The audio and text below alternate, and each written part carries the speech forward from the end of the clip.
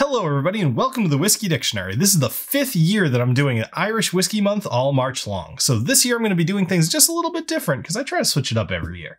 This year I went out and I bought all four different whiskeys and I'm going to show you what they are. So if you want to go out and buy them, you can drink along with me. And all four of these are good. So first, Tullamore Dew 12 year. Next, Teeling Blackpitts. Next, Writer's Tears Copper Pot. And then finally, an affordable option with the Slane. So come celebrate this underappreciated style of whiskey with me all March long, and I'll see you soon. Cheers.